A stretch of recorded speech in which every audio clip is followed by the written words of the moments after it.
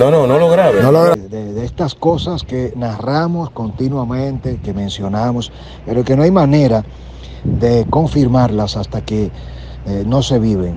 Eh, este, este señor, eh, ciudadano haitiano que vemos con este ticher morado que viene caminando encima de mí, él está justamente del lado haitiano y es un miembro de las bandas de Haití, confirmado por información de inteligencia, que está dirigiendo y prácticamente controlando cualquier reacción, cualquier declaración, todos los movimientos de los ciudadanos haitianos que cruzan y que están eh, abandonando República Dominicana en masa de manera voluntaria, como ya hemos dicho, lo vimos en Dajabón y en esta ocasión en Carrizal, es la puerta de Carrizal, eh, íbamos precisamente en ese momento a tomar las declaraciones de una veintena de, haitianos que estaban allí, que querían hablarnos comentaron un número de cosas. Hemos estado investigando a fondo la información que eh, nos eh, ha llegado de una fuente desde Haití eh, totalmente confiable de que las bandas están llamando a los ciudadanos haitianos en todo el territorio nacional y le están diciendo que si no abandonan República Dominicana y se van a Haití, van a matar a sus familiares.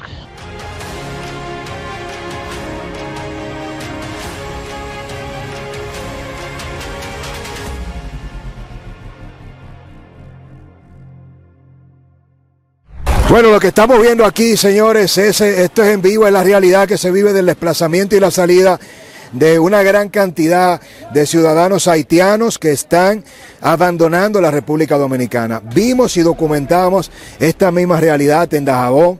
Nos hemos trasladado a Lías Piña. Vamos a hacer lo mismo en Jimaní para que logremos captar atestiguar y documentar lo que está pasando ante el cierre de la frontera de cara al conflicto eh, que tiene nuestra nación República Dominicana con Haití y todo lo que tiene que ver con la construcción del canal que busca intervenir el cauce del río Masacre. Me encuentro a mi izquierda con el comandante Mora Hernández, el comandante de la tercera brigada de infantería del ejército de República Dominicana y a mi derecha con Arciniegas, coronel Arciniegas, el, el responsable en jefe del CEFRON, del Cuerpo Especializado de Seguridad Terrestre y Fronteriza, eh, dos oficiales que están comandando a nuestros, eh, eh, diría, héroes, a estos soldados de la patria que lo dan todo precisamente para garantizar nuestra seguridad interna y para regular el flujo de la entrada y salida de personas y de mercancías. Quiero, eh, comandante eh, Hernández, eh, preguntarle cómo anda toda la seguridad, cuál es la realidad en el día de hoy de cara a este conflicto y a la decisión del señor presidente de la República de cerrar la frontera por todas sus vías. Sí, buenos días. Nosotros, por instrucciones de nuestro comandante general, el mayor general Carlos Antonio Fernández Onofre, Ejército de República Dominicana, diplomado de Estado Mayor, estamos dándole cumplimiento a la orden presidencial de asegurar la frontera de República Dominicana con el hermano vecino de Haití.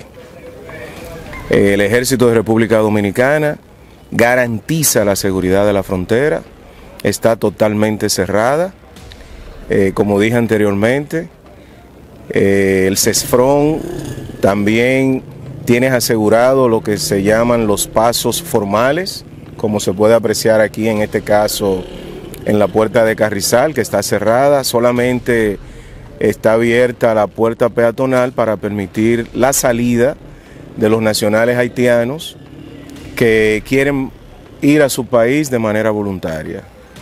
Así que nosotros acá estamos dándole cumplimiento a esa disposición de nuestra autoridad suprema y a las instrucciones de nuestro comandante general. ¿Cuántas puertas tenemos en Elías Piña? ¿Carrizal, alguna otra?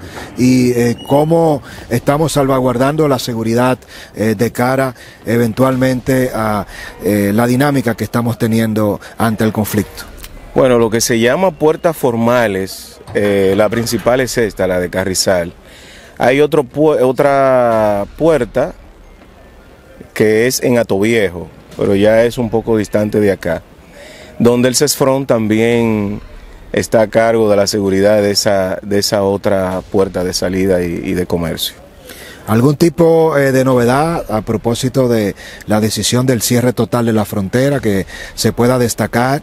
¿Y qué mensaje, eh, comandante, usted al cargo de las operaciones aquí en Elías Piña, de nuestro glorioso ejército nacional, le envía a todos los dominicanos que eh, sienten como es normal en la vida civil, algún tipo de temor, eh, que entienden evidentemente que eh, se siente el nervio eh, en la distancia por no tener contacto con esta realidad. En términos militares, estamos seguros, estamos preparados y cuál es la realidad que estamos viviendo hoy día de cara a, a la tensión que conlleva este estatus especial del cierre fronterizo. No, aquí en lo que es toda nuestra área de responsabilidad no ha habido novedad, gracias a Dios. La frontera está en calma, está tranquila. Ahora, el ejército de República Dominicana, conjuntamente con el CESFRON, son una garantía de la seguridad y de la tranquilidad del pueblo dominicano. Excelente. Quiero eh, que invitarlo, por favor, a, caminar un poco acá, a ver esta tanqueta que está marcada con el 605, para que también me comente un poco. Eh, veo otra ya. Eh, ¿Qué tenemos? ¿Cuál es el desplazamiento? ¿Qué tipo de realidad en el protocolo militar estamos viendo aquí? Aquí lo que tenemos es, como ustedes pueden ver, el CEFRON está bajo control de lo que es la vía de acceso, o sea, de la puerta y el ejército está en apoyo al personal de CESFRON porque esta es la principal vía de acceso. Aquí tenemos una B150 y un Urobantac en apoyo al CESFRON. Esto es un todoterreno. Así es. Excelente. Entonces aquí veo también la formación. Y el Urobantac es un vehículo blindado, blindado. de los recién recibido por el ejército. ¿Qué tenemos allá? Estoy viendo un equipo de monitoreo. Esos son equipos del Cefrón, son equipos de cámara y, y no, no, no, no sabría las otras especificación. Perfecto. Bueno, comandante, quiero agradecerle estas declaraciones por recibirnos, por la apertura. Quiero en el nombre de toda la República Dominicana, de cada uno de los dominicanos, desde los niños más pequeños hasta los adultos, darle las gracias a usted eh, y a toda su tropa, al ejército, eh, a todas las instituciones castrenses, para ustedes que están en esta tercera brigada dando eh, el todo por el todo, eh, día tras día, y ver a cada uno de estos soldados, eh, custodios y responsables de salvaguardar nuestra soberanía, al comandante en jefe del Ejército Nacional, Onofre Fernández, que está ejecutando junto a cada uno de ustedes, minuto a minuto, todo lo necesario para garantizar la seguridad. Es tiempo como nunca antes de apoyar a nuestras Fuerzas Armadas, a nuestro Ejército Nacional, subirle la moral. No importa los casos aislados que hemos vivido en el pasado o que se den en el presente. Estos oficiales superiores, clase, alistados, nuestra reserva, están día tras día dando el todo por el todo. No hay dinero para pagarles. No hay forma de agradecerles que no sea diciéndole gracias, nos sentimos orgullosos de ustedes y el compromiso es despolitizar esto. Esto no se trata eh, de que el presidente sea de un partido, es el presidente, comandante en jefe de nuestras Fuerzas Armadas. Si se diera una amenaza, un conflicto, como el que se ha dado, que esperemos que nunca desencadene en un enfrentamiento militar entre República Dominicana y Haití, la garantía es tener a cada uno de estos hombres y mujeres dispuestos como están a dar su vida. Mientras nosotros sentimos miedos, ellos están al frente, siempre. Agua, sol y sereno. Vicisitudes, desafíos, con todo el apoyo logístico, pero no es lo mismo estar hablando en términos cotidianos, en un aire acondicionado, mirando su Netflix, mirando al demócrata, discutiendo lo que pasa mientras ellos están aquí en el terreno.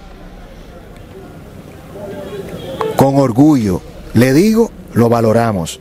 Y me he trasladado junto al equipo y a las cámaras del demócrata para decirle que no tenemos con qué pagarles a cada uno de sus hombres Comandante, a usted y a su familia que se sientan orgullosos, como lo estamos nosotros de ustedes. Muchas gracias y a la población dominicana que esté tranquila, que el ejército de República Dominicana tiene absoluto control y total seguridad de la frontera. Como nos ha dicho nuestro comandante general, y así ustedes lo han visto acá, en el ejército de República Dominicana todos somos uno. Y la población debe estar tranquila en ese sentido. Bueno, agradecer nuevamente, así habla el comandante de la tercera brigada de infantería del ejército de República Dominicana, el comandante Raúl Mora, y nosotros seguimos recorriendo cada uno de los pasos fronterizos para llevarle este reportaje especial.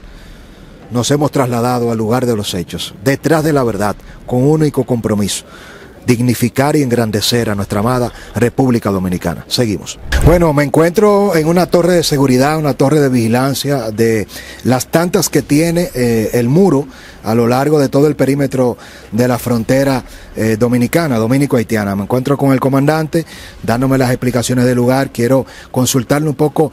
Eh, me llama la atención, comandante, el tema de que vemos que está la verja, el muro, ¿no?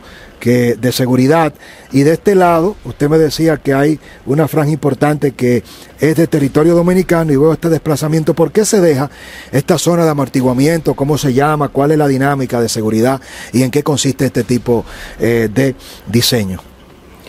No, el muro está eh, en ambos lados del muro. Tenemos dos carreteras, una del lado adentro y una del lado afuera. Eso es para que las unidades motorizadas nuestras puedan patrullar el muro tanto del lado de adentro del muro como del lado afuera.